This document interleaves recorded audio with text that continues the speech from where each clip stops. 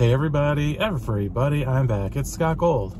Today I am doing a little mukbang. I'm actually at Portillo's and I know I've talked about Portillo's before. I don't think I've ever done a mukbang here because it's usually too long of a line, but uh, I was in the area and the line was short, so I thought I'd bring you along with me. I'm on my way home from work. I haven't eaten all day. I'm super hungry, so let's get into it. I have a uh, one of my favorites. Now they're known for their hot dogs or Chicago style hot dogs, which are super delicious, but but um, my favorite is the Italian beef sandwich. So I, of course, ordered that, which looks like this. I have uh, giardiniera for a little spice on top. I also got a french fries and of course my cheese sauce I get pretty much everywhere that offers it and a chocolate cake shake which I've never had before but I've heard good things about so um someone backing up their car's making sounds like it's about to fall apart. But let's give this a try first because it's a chocolate shake with their well known for their um, their chocolate cake and I guess that's incorporated blended up chopped up in this shake. So let's see how that is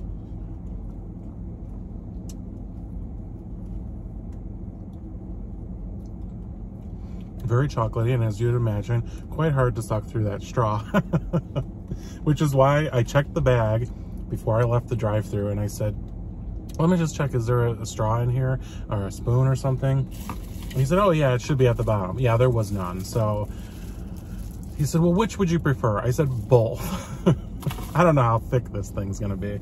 So always check your bag before you leave the drive-through. You regret it every time Let's give this a try. Mmm. Very, very good.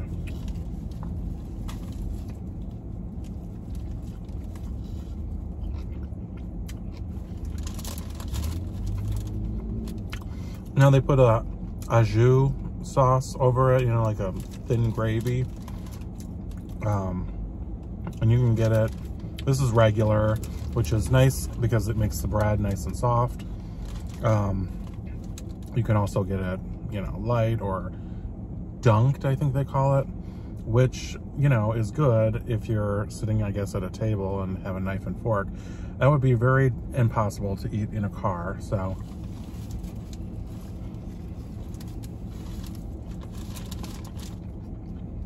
And you know, I do. Most of my mukbangs in a car, so. Why change it now, right? So this is my 99th video. And I'm almost at 400 subscribers, which is unbelievable to me. So. I just picked something up. And I'm gonna be doing my 100th video um, I hope to post it very soon, maybe on Saturday, because that will be my nine months of being on YouTube. So look for that. Um, and uh, I have something that I'm going to be opening.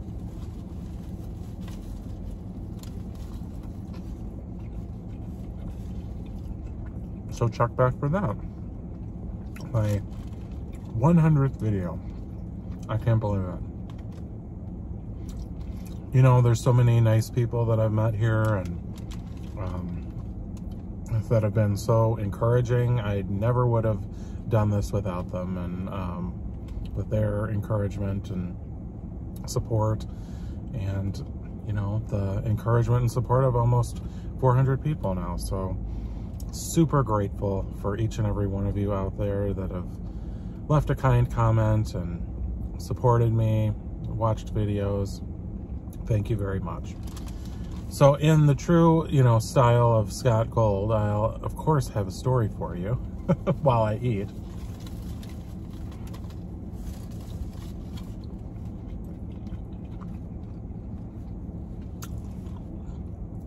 You know, I was talking to my friend Ron, whose channel here is Life with Ron, and he's on vacation right now and posting all kinds of really awesome videos from Philadelphia. And uh, he's become such a great friend and support to me and just love him. And uh, I said, oh, well, you know, when you're there, what are you going to do? And we were talking and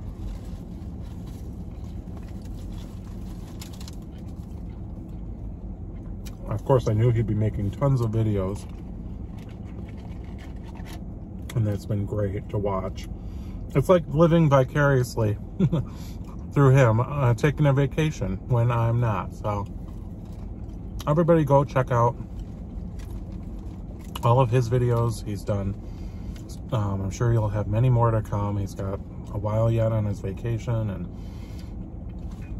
um, he's did a really cool video of uh, prison that they, an old, you know, prison that's decommissioned and uh, made some cool videos there. So really fun to watch. When I was talking to him about uh, time I was in New Orleans and one of the things that we decided to do just on the on a whim walking past there was a um, mule ride now this is gonna sound funny like a horse-drawn carriage, but instead of a horse, they used mules. And instead of it being like a carriage for like, you know, four people or whatever, it was like a wagon, you know, with a bunch of seats and stuff like that. So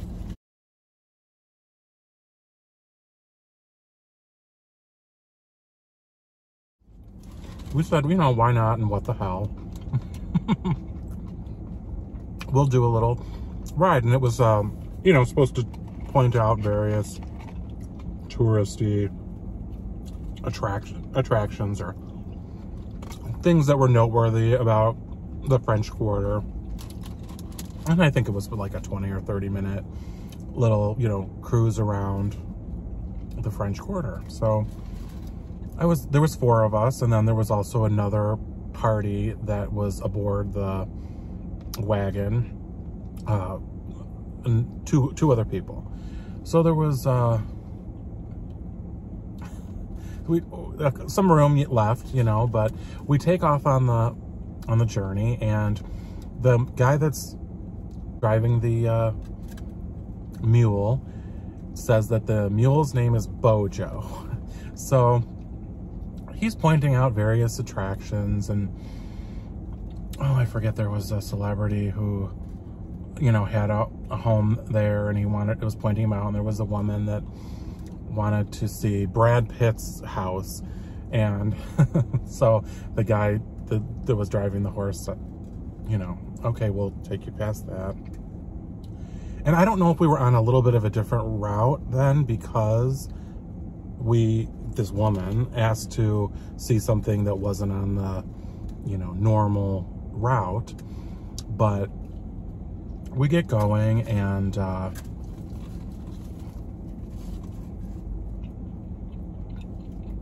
it was pretty uneventful until we head down this narrow street. And of course, you know, it's a city, so it's, you know, cars lining both sides of the street. They're narrow, old streets. And up ahead, there is a dumpster parked on the side of the street.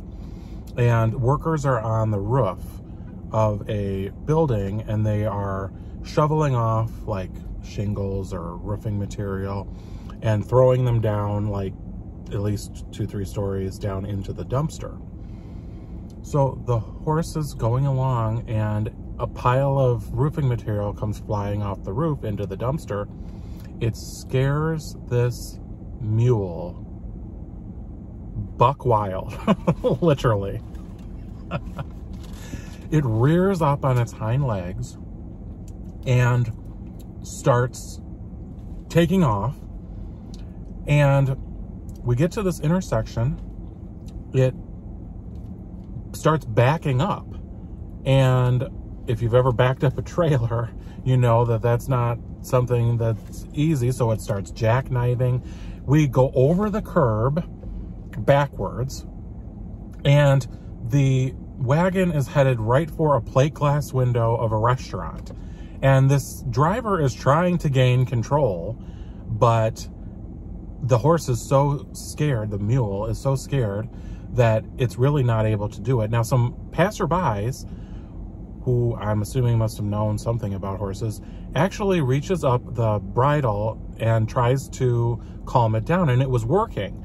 But it seemed like the driver took exception to that because, you know, how dare anybody imply, I guess, that he didn't have control of the mule. You know, he was like yelling at them, get away, get away. And the horse had been, the mule had been getting calmer when they were trying to help, but it just, the yelling and the commotion startled it even further. So the wagon was like tipped because it was a very tall curb, like well over a foot. So we didn't know what to do because it wasn't like you could just jump off. I mean, there was uh, six of us on there. I think you had to get off in one area and there was a big wheel there and you kind of had to maneuver around and you sort of had to put your hand on that wheel to get off which you didn't want to do when this thing is moving and you don't know what this this horse is going to do. He didn't have control over it. So I said, you know, should we should we jump off of this thing? And I was like, I, you know, nobody knew what to do. So we, rather than get hurt getting jump, you know, jumping off of this or into traffic or something, we stayed put and just hoped to God this wasn't going to overturn because that was an absolute possibility that could happen at any moment. So he has like, I don't know, like a, uh, like a whip kind of a thing. And he's trying to, you know, get control over this this mule and uh, of course that only made matters worse because it took off charging like a full gallop. And he's trying to rein it in.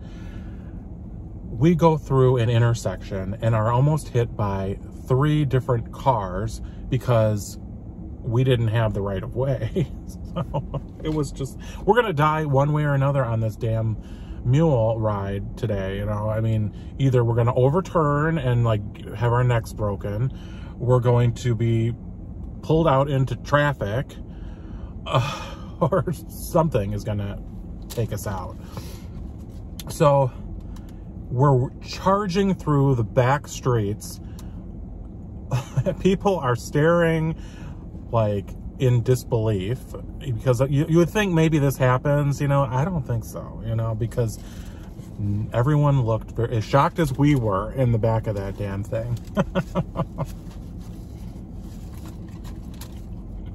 so somehow he ends up calming it down to a level that he's able to gain somewhat control. So there's the area that we had loaded on, like kind of, it's almost like a cab stand or something where various horses and carriages were standing waiting for tourists that wanted to ride. And he gets it to stop and we just jump off like so happy to be out of that thing. You know, I mean, I practically kissed the ground like the Pope when I got off of that. So we're just like, oh, thank God, you know, it's over. I don't know how much we paid for that horror ride, but we were just glad. So the driver says to another carriage driver there, hey, this, you know, horse, this mule went buck wild and uh, they didn't get a good ride. Would you take them for the rest of the ride? And honestly, at this point, we were just like, oh, no, no, no, no, no, that's fine. What's fine? We had enough, you know. But I guess we were kind of young at the time and foolish. I should have just said no. But they were insistent.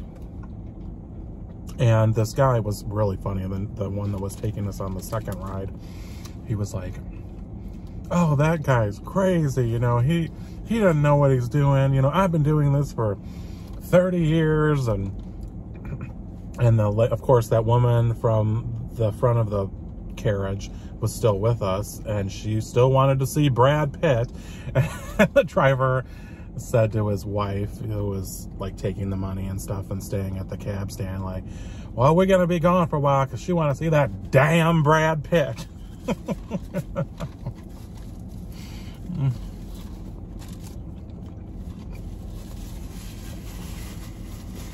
so I don't even remember if we saw Brad Pitt's house or not, or what it looked like.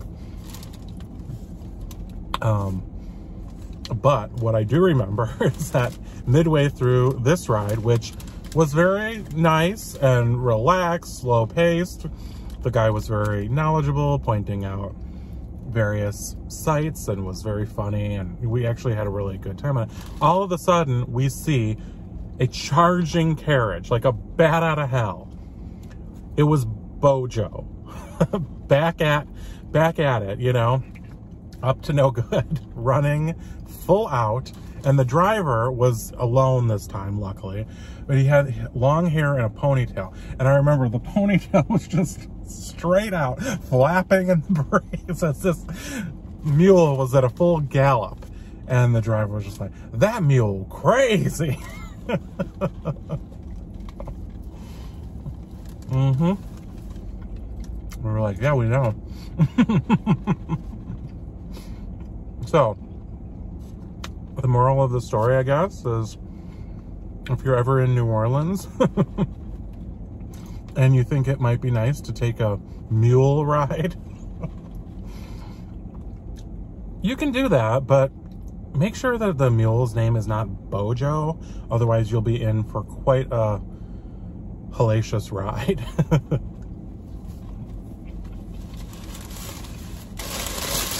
well, that Italian beef was super good. Now, Portillo's was always a Chicago original, you know, dating back many, many years. And uh, now I know that it's been purchased and it's a publicly held company now, traded on the New York Stock Exchange, and they uh, have expanded quite a bit to other markets. They started with a lot of places that were, you know, places that Chicago transplants find themselves, like Florida, Arizona, um, I know that they had some in California, um, some different places, but it appears that they have expanded quite a bit, which is good for everyone else because they get to have some yummy Chicago style hot dogs and Italian beef. But it's almost a little like, I don't know, I have mixed feelings about it because it's almost like, well, that was a Chicago original, you know, that was something that was just here, you know, but I'm glad that everybody can try it because it's very good. You definitely pay for it. They um, have certainly raised their prices where, as most places have, but such is life at this point, I guess.